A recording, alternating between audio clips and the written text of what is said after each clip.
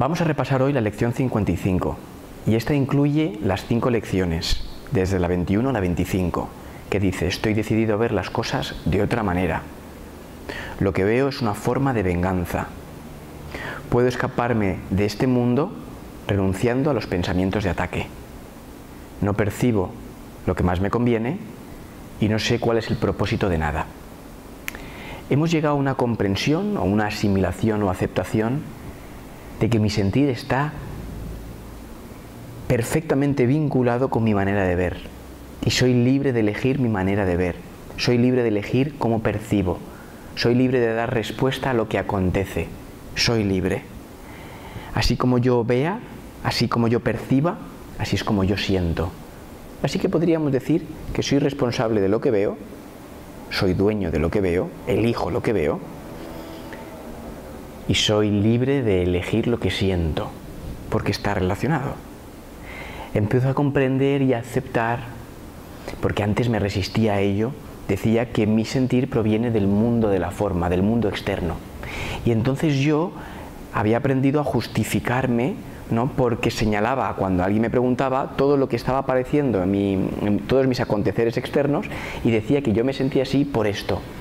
En este camino de aceptación de la verdad qué importante es ratificar cada vez que nos encontremos aquí, cada vez que estés contigo mismo y quieras vivir este camino plenamente, aceptar este hecho, porque es un hecho, que tu sentir lo eliges tú, que el foco causante de tu sentir no viene del mundo externo, sino que viene de tu sistema de pensamiento.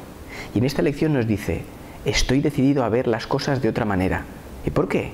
Pues porque si no te sientes bien es porque has decidido ver las cosas a tu manera. Y hay una manera de ver las cosas que está alineada con esa realidad objetiva de la que hablábamos, con la verdad. Está alineada con la verdad. Es lo que el curso llama el Espíritu Santo, que es tu guía, que te conduce a la percepción verdadera, la cual te llevará al conocimiento, a la verdad, a esta realidad objetiva. Así que esto, estoy dispuesto a ver las cosas de otra manera. La pregunta es, ¿estás dispuesto? ¿Lo sientes? ¿Tienes ganas? Quieres ver las cosas de otra manera, esas situaciones que se repiten en tu día a día, familiares, con tus padres, con ciertos amigos, en el trabajo, donde mi manera de ver me hace sentir limitado, me hace sentir preocupado, me hace sentir irritado, confuso. Y ahora sé que mi confusión, mi irritabilidad, no viene del mundo externo, sé que viene de mi manera de ver. Y entonces, ¿cuántas oportunidades en el día tenemos para decir, ¿Estoy dispuesto a ver las cosas de otra manera? Quiero sentirme bien, en otras palabras. En otras palabras podríamos resumir esto como, quiero ser feliz. ¿Realmente quiero ser feliz? Porque ser feliz es inevitable si elijo ver las cosas de otra manera. Es inevitable porque yo elijo mi sentir. ¿Y qué es la felicidad? Sino el elegir mi sentir. Elijo ser feliz, que es lo que soy. Elijo ser paz, que es lo que soy. Elijo ser libre, que es lo que soy elijo ser abundante, que es lo que soy. La felicidad es inevitable, como decíamos. ¿Por qué? Porque soy libre de pensar, soy libre de elegir cómo ver, soy libre de sentir. ¿Quieres ser feliz? ¿Estás decidido a ser feliz? Y te das cuenta de que es una decisión tuya. Y de repente surgen ese, ese torrente de pensamientos viejos, programas, pero ¿cómo voy a ser feliz si me está pasando esto externo? Pero ¿cómo voy a ser feliz si este camarero me ha tratado mal, o mi jefe me ha hablado así, o mis hijos no paran de hacer esto, o mis amigos eh, mm, he quedado con ellos y no me han llamado para tal cosa, o mi pareja me... ¿Cómo voy a ser feliz? Dices, viendo las cosas de otra manera. Dice, pero es que no se pueden ver de otra manera. Y entonces la pregunta, ¿estás decidido a ver? Un mismo estímulo sabemos que hay infinitas formas de verlas infinitos sentires, depende de la persona que esté, podrá verlo de una manera u otra, saca, interpretar las cosas de una manera u otra, juzgarlo de una manera u otra. Y el curso nos dice, no hay muchas maneras, al final hay dos, una que es verdad y otra que es falsa. La verdad te hace sentir bien, en paz, libre, unido a tus hermanos y a tus hermanos. La falsa te hace sentir ansiedad, pánico, miedo, preocupación, culpabilidad, soy libre de elegir y estoy decidido a verlo. Entonces, ¿qué lección más amorosa, más, más amable? Porque tú mismo estás decidiendo que estás decidido. ¿Por qué estoy decidido a verlo? porque el curso te dice, lo que estás viendo es una forma de venganza. Y sé que esto puede sonar fuerte, ¿no? Venganza es un término que además en, nuestro, en nuestra cultura o idioma es una, palabra eh, que, eh, que, puede costarnos mm, aceptarla, ¿no? El curso se refiere a que lo que estoy viendo es ataque. Creo que el mundo es hostil. ¿Por qué? Porque me levanto por las mañanas y ya estoy refunfuñando del mundo, ya estoy refunfuñando del día. No es domingo, no es sábado, es lunes o es martes, o todavía me queda toda la semana. Refunfuño con la semana, refunfuño con el tiempo, con mi trabajo, con mi pareja. Eh, voy a hacerme un café y no queda café. Le dije a mi pareja que comprase y no ha comprado. Pensamientos de ataque. Empiezo a sentir hostilidad. Esto es lo que el curso llama venganza. Quiere decir que lo estás viendo en forma de venganza. ¿Por qué? Porque si el mundo es hostil, yo debo defenderme. Yo debo de desarrollar estrategias de defensa para protegerme de un mundo hostil. Y te está diciendo que justamente eso es una manera vengativa, porque crees que el mundo te hizo algo y que tú quieres devolverle el golpe. Entonces, ahora empiezo a comprender por qué quiero ver las cosas de otra manera. Ahora empiezo a comprender que si quiero ser feliz, debo estar decidido a ver las cosas de otra manera. Empiezo a comprender cómo veo las cosas y empiezo a darme cuenta que me siento con ansiedad, con preocupación, con miedo, porque estoy teniendo pensamientos de ataque. Y el curso te dice, puedo escaparme de este mundo que veo, de esta ilusión, renunciando tan solo a tus pensamientos de ataque. Y entonces nos damos cuenta cómo la vida amorosamente te empieza a brindar oportunidades maravillosas, donde tú puedas hacer consciente todos estos pensamientos de ataque que sientes. Porque tú ahora comprendes que nada, ni tu sentir, el foco causante de tu sentir no está afuera, que nadie puede herirte sin tu consentimiento. Y entonces simplemente puedes renunciar a este sentir con tan solo ser consciente de que proviene de tus pensamientos de ataque y perdonar. Y entonces este camino se convierte en un camino de perdón, que es un camino de liberar lo viejo, lo viejo aprendido, el pensamiento limitado, el pensamiento de forma corporal, de preocupación, de supervivencia. Empiezo a liberarme de todo ello. Esos son los pensamientos de ataque. Porque si te das cuenta, cuando tú conectas con tu presencia, empiezas a darte cuenta que no nada puede quitarte nada. Nada puede quitarte tu presencia, tu sentimiento yo, tu sentimiento yo soy, tu ser. Si nadie o nada puede quitarte tu ser, lo que eres, la vida que eres, entonces no hay nada que temer.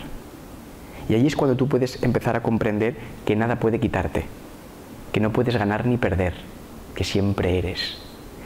Si nosotros nos enfocamos y nos vemos a nosotros mismos como personajes, personas, cuerpos, formas, estamos acostumbrados que la forma cambie de aquí a allí, de allí a aquí. Que ahora tú la tengas y ahora yo la tenga. Que la tenía yo y tú me la quitas. Pero la vida no puedes quitarla, porque la vida no es física, no es forma. Es lo que subyace. Es como tú no le puedes quitar el silencio a alguien. El silencio es. El, silencio subyace. Lo puedes sentir. Tú eres el único que a través de tu ruido mental puedes no experimentar el silencio, pero siempre está subyacente. Lo mismo ocurre con tu presencia, con el yo soy que eres. Puedo estar en paz renunciando a mis pensamientos de ataque, porque nada puede quitarme y empiezo a reconocer esto. Y empiezo a darme cuenta del orden exquisito, de que esto es, no hay eh, excepciones, es una ley suprema. Así como decida ver, así es como siento. Hay una manera amorosa de ver el mundo, la cual me acerca a la verdad. Quiero experimentar la verdad. Como te digo, muchos caminos, una sola verdad experimentada, una sola experiencia verdadera. Ahí es donde nos estamos acercando. Ahora empiezo a comprender que soy libre de decidir acercarme a la verdad, que la verdad es aquí y ahora, está aquí y ahora, que lo único que hace que no lo vea es mi decisión de no verla, no es nada más. Entonces estoy decidido a ver las cosas de otra manera. Comprendo que para ver la verdad debo renunciar al ataque y a la defensa, a los pensamientos de que el mundo es hostil, de que el mundo me quita. Y empiezo a comprender que no percibo lo que más me conviene, en este deshacimiento de pensamientos de ataque, empiezo a comprender que toda situación que acontece, la cual antes rechazaba y no quería que ocurriese, es lo que más me conviene. El curso dice, estás tratando de controlar y planificar tu vida. Crees que estás a cargo de todos los aconteceres que ocurren en tu vida. Crees que estás a cargo de todo lo que, lo que pasa. Dice, es esta planificación, es este control de querer controlar para evitar sucesos futuros lo que te lleva a la ansiedad, lo que te lleva al sufrimiento. ¿Vale? Entonces, empieza a aceptar, empieza a aceptar lo que acontece, empieza a abrazar lo que acontece, empieza a mirarlo de otra manera. Entonces, ese jefe que te hablaba mal o esos compañeros que sentías que te hacían cualquier cosa, dite, existe otra manera de verlo.